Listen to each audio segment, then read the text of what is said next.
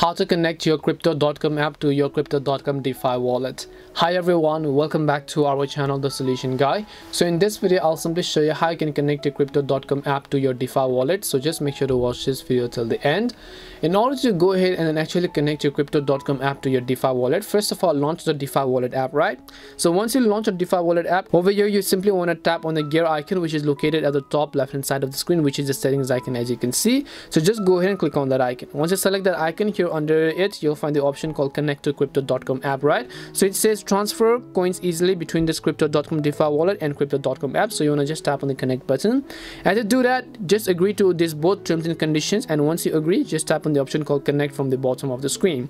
So once you tap on connect it will ask you to authenticate the connection. So enter the crypto.com app account email. So you have to enter the email address that is associated with your crypto.com application. So after you enter your email address just tap on the option called send connection email. and as you do that just open up your email and then you should be able to find the little connect button when you scroll down to it. So just tap on that connect option over here. And as you do that just authenticate the connection by entering your crypto.com's app passcode if you have locked it. So just enter the passcode and then just hit the continue button.